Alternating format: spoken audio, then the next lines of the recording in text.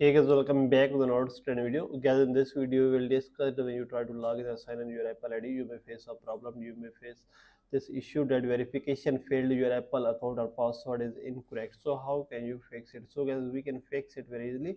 So there are two ways to fix the problem. The first method is guys, you may make sure that your Apple account or your Apple ID is correct. So you may just make sure that your Apple ID is working are correct and this is active the second method is guys you will make sure that your password is correct so if you have uh, wrong credentials then you may face this issue so if your apple id is correct but you have forgot your password then guys you may click here on forgot password and guys you may just reset your password from here and you may check your problem will be fixed. So now you may put your apple id or your apple account and then you will make sure that a verification code will be sent to this number. So you may confirm your phone number from here and then get the verification code will be sent.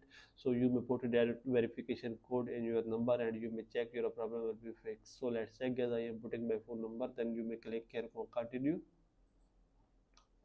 so this interface will be open. Guys here you may click here on send code and if this phone number is not in your use you may click here on cannot use this number. So you may click here on send code and a verification code will be sent to your this phone number. So you may put that verification code here and then guys you may put your new password and you may check your apple account will be uh, recover or uh, you can get back your apple account. So well this method you can fix it very easily. So this is the video guys. For more videos please subscribe our channel